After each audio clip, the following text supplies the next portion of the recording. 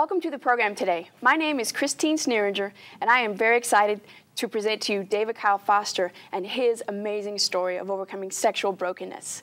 David, you're an author and a speaker, and you lead a national ministry, an international ministry, in fact. And it's just, I'm thrilled to have you here on the show today. Well, it's great to be here. It's, it's a wonderful opportunity to get this message out that God wants to heal sexually broken people. And it doesn't matter to him how broken a person is, how perverse their life has been. He wants to heal them and redeem them and take them with him into his kingdom. Amen to that, brother. And I am so excited because your story is one of incredible extremes. You were a prostitute, of all things. Yes, I ended up a prostitute for seven years during my years in Hollywood. And by then I thought God could not possibly love me uh, because I didn't think God loved prostitutes. I could only imagine. You went from prostitute to priest. In fact, we're going to show a clip right now from the 700 Club that's going to tell that story, and we're going to come back and let you tell more details. Okay. I remember days when I would be on the set, starring in a movie with NBC executives from New York all around me telling me I was great and wonderful and the next James Dean. And then going out that night and prostituting. I was a professional actor by day, male prostitute by night. By day, David Foster was a rising star who basked in the bright lights of Hollywood. But by night, he lurked in the shadows of a dangerous underworld, gripped by an addiction he couldn't control. Both seemed unlikely places for the son of a Presbyterian minister. As a young boy, David loved the movies. It was there his dream to act was born it put into me a desire to become an actor that I wasn't even aware of. one of the things I'd do is I'd go to the movies and I'd sit there all day long because um, it was a fantasy world. It was a world where things were okay, everything was okay. There was always a happy ending. People loved each other. Unlike David's home, where he says he felt rejected by the most influential man in his life. I didn't have my dad be emotionally close to me like I longed for. And, and he didn't know that he needed to be doing that because his dad had never taught him how to do that. But, you know, I took that as a sign that he didn't love me. And needing a dad's love and affection and approval and modeling. And all of that uh, caused me to look for it elsewhere. And I remember early on uh, looking at other fellows in, in uh, junior high school and high school. Not to lust after them. There was nothing sexual about it. I was just looking for what it was in them that made them so happy and well liked and popular. And um, I was looking for what was missing in me, in them. But David's fascination with men created inner turmoil. He spent his teenage years lonely and depressed, alienated from his father and from God my dad being a pastor and being Scottish and uh, actually contributed to my um, disfavor of God. I, I associated my father with God. In college, heavy drug use freed him to act out his homosexual inclinations, and that led to such self disgust.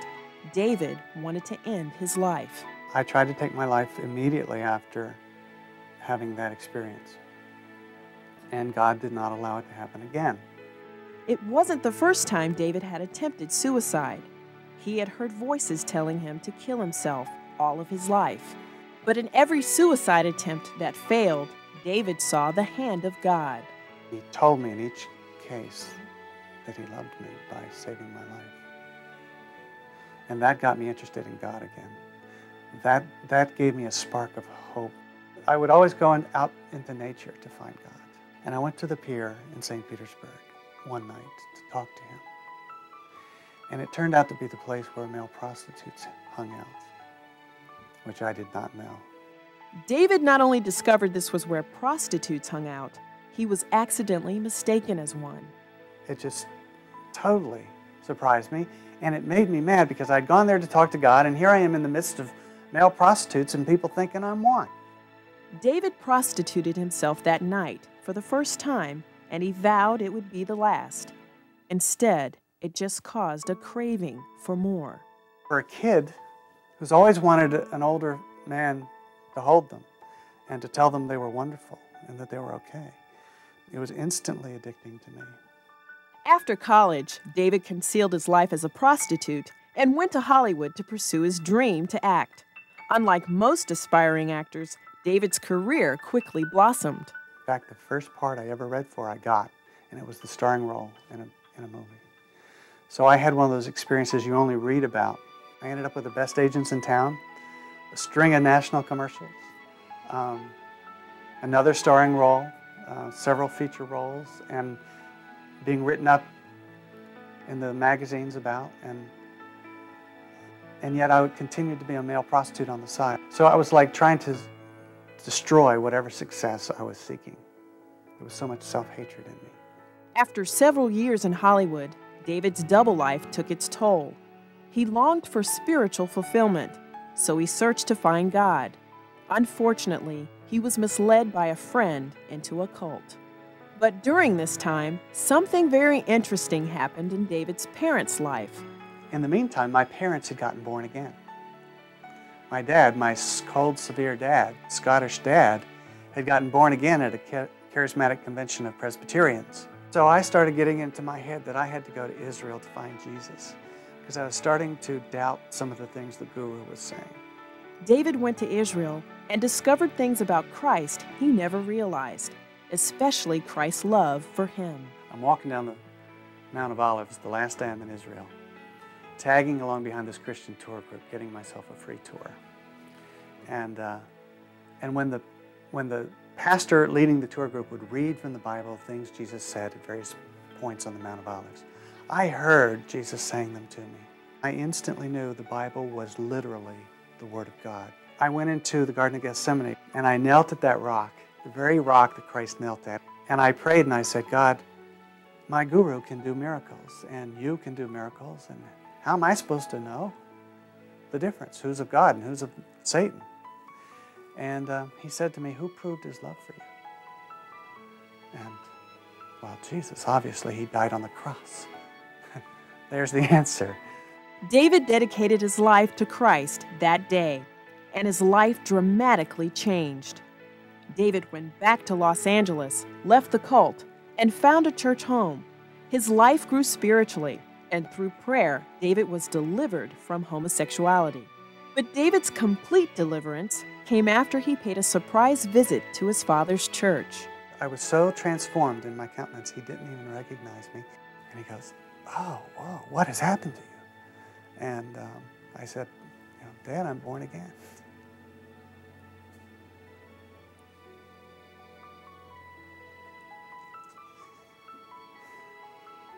First time I'd seen my dad weep.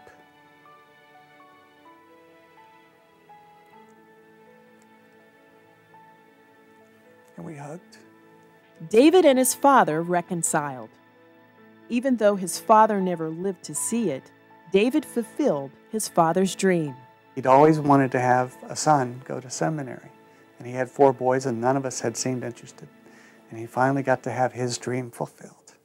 Today, David Foster is an ordained Episcopal priest with a ministry tailored for people struggling with sexual bondage. David believes his life is a message of God's faithfulness and redemption.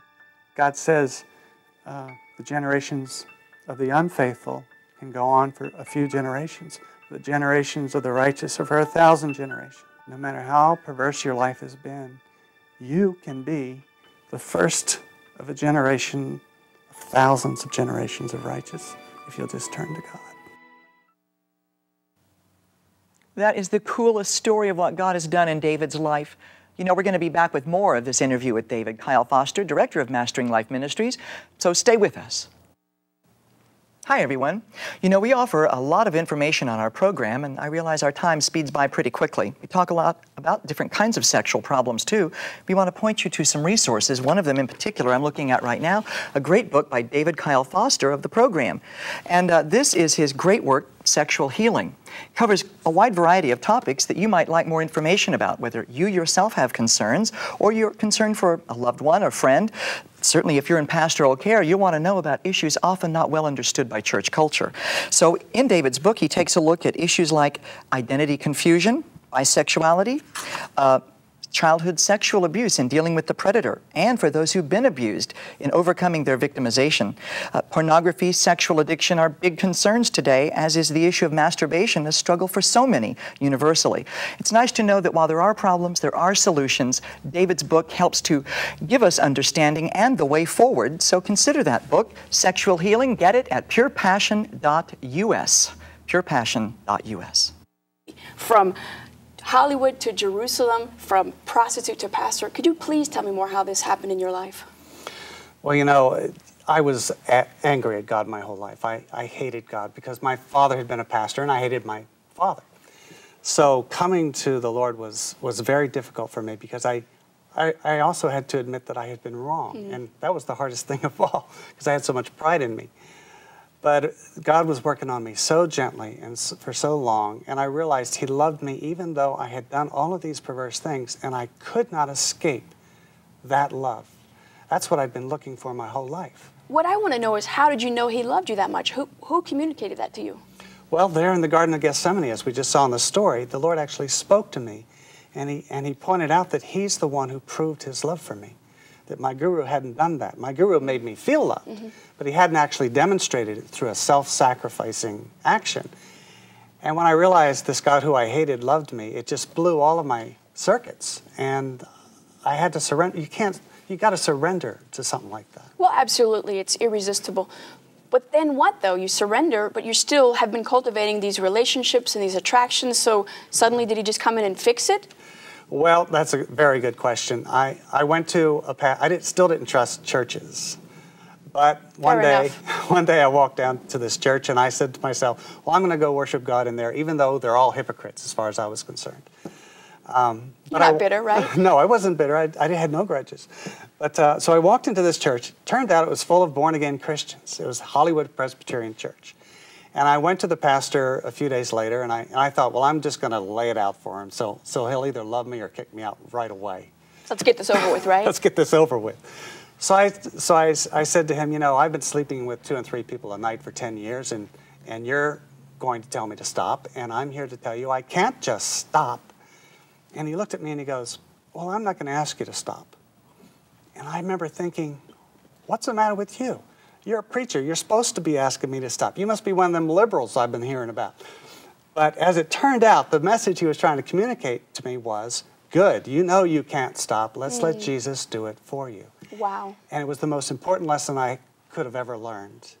And I got to learn it right off the bat. And so I was fresh in my salvation experience. Nobody had gotten to me yet to tell me what God could not do. Mm -hmm. And I just believed him. And so I said, okay, Jesus, if you will give me the power, I will stop this very day. And that was the last day. He set me free. He broke the power of drugs. I was a massive drug addict. He broke the power of alcoholism, and he broke the power of sexual addiction that had dominated my life for over 10 years. Well, I'm just amazed at the fact this pastor who knew, I mean, I just love his heart in saying, you, you know, agreeing with you that you can't do it by yourself. You need the Lord, you need Jesus, and He's going to have to do it through you. And the fact that you knew that as well, not that you knew that, but that He communicated that to you. I was naive enough to believe Him, and it, by golly, it was true. And, and the Lord's power came forth and set me free. Now, I still had a lot of brokenness, I still had a lot that needed to be healed.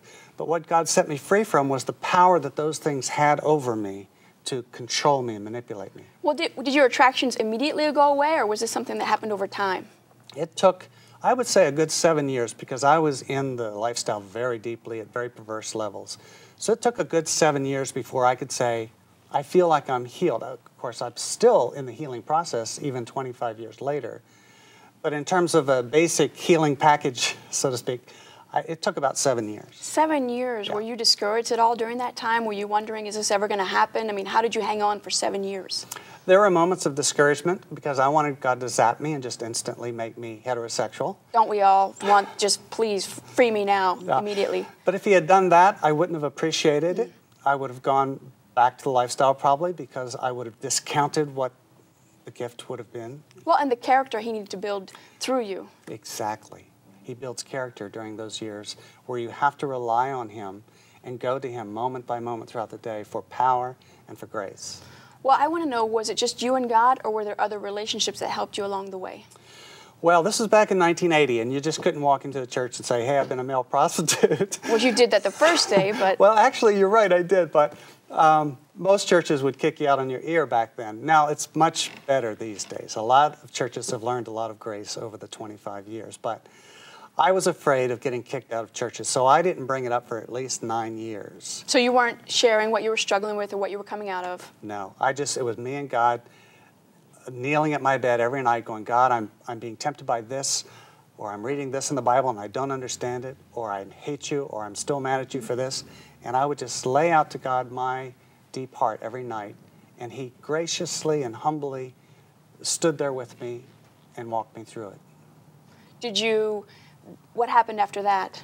Well, finally in 1989, uh, supernaturally, this pastor's wife got a word of knowledge that I was supposed to get up and speak at this conference on sexual shame. She didn't even know my story, but I thought she did, so I got up and told my whole story publicly for the first time at this conference. And as I was telling it, people were weeping and crying and falling down. I had people coming up to me afterwards saying, You know, I've never told anybody this, but compared to your story, it's not so bad, so I'm going to tell you. And I knew in that moment that God had birthed a ministry in me, that He was going to use my perverted background to set other people free. Well, that's exactly what I was thinking when I when I was watching the clip.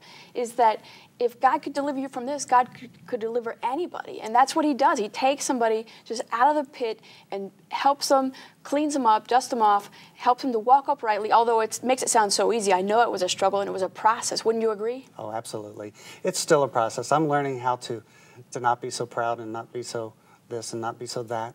It's it's an ongoing uh, struggle, but you know we, we, we shouldn't focus on the, the aim of perfection because we will not reach that. And if you're a perfectionist, that's going to frustrate you to death. We've got to focus on intimacy with God, loving Him, pleasing Him. That's what He's looking for. He's looking at our hearts. He's not looking at our performance, He's looking at our hearts. Is my heart fixed on Him? Am I pursuing Him as the bridegroom? According to the Bible, I have married God now that I've become born again, and He is now my bridegroom. And do I have that intimate relationship with Him? That's what He cares about more than anything else. But wait, there's more. We've got one more break, but we're going to come back with more of that interview with David Kyle Foster. Stay with us. Hi, everyone. You know, we like to make resources available to you, and we've got another book here by David Kyle Foster of the show. And this book, Transformed into His Image, deals with getting your life back on track if it's been off track. And particularly for those of us we work with, you know, who have struggled in sexual ways, what is on track? What does that look like? And in David's book, he takes a look at several different concepts. What does it look like to be healed? Why do some people remain in sin and brokenness? And what is the making of a minister in addressing concerns like this and going forward in your life? So, written out of his experience as a man who has to practice what he preaches, combined with the fact that he's got an international ministry and working with people regardless of continent or culture, there are redemptive truths his book makes available to you. So, if you'd like more information about how to order this book, you can visit our website at purepassion.us for David's book, transformed into his image, which is the real point. So come again to purepassion.us for ordering information.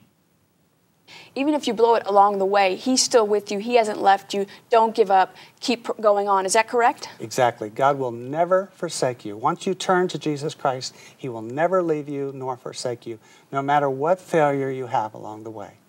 That is so true, and I found that true in my own life. And so, thank you so much for sharing that. Tell me a little bit about your ministry before we wrap things up. Well, the ministry, Mastering Life Ministries, is the sponsor of this program, and um, we exist to equip the body of Christ so that we can better minister to sexually broken people mm-hmm. and to reach out to people who are sexually broken and show them how God brings healing. He brings it through grace and loving you into the kingdom.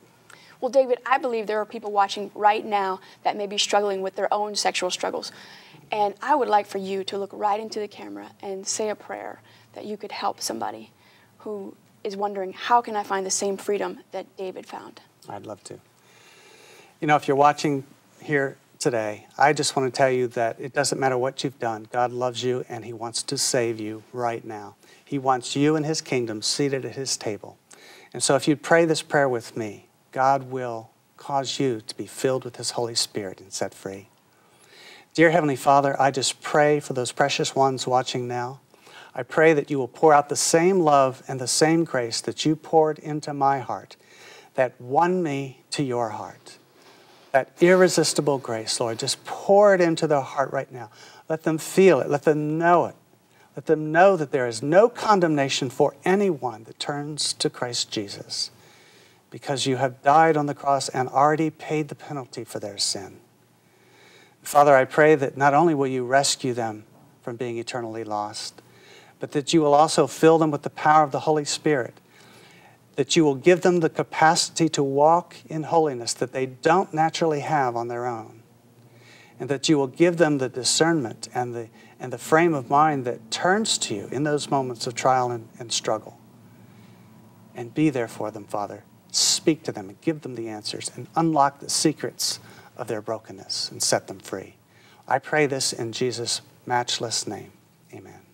Amen. Now, if you prayed with David, we'd like to invite you to continue what you've started. Why not visit our website?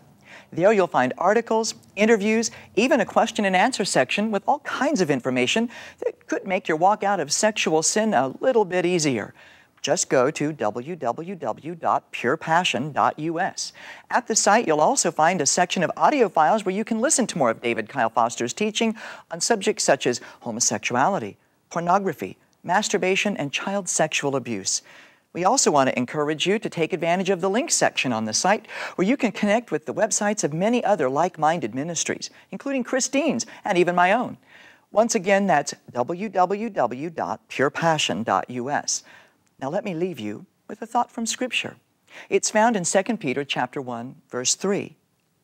Our God has given us everything we need for life and godliness through our knowledge of Him. May you discover more of that treasure in our Lord Jesus Christ this week. From all of us at Pure Passion, God bless you. I'm Cy Rogers. See you next time.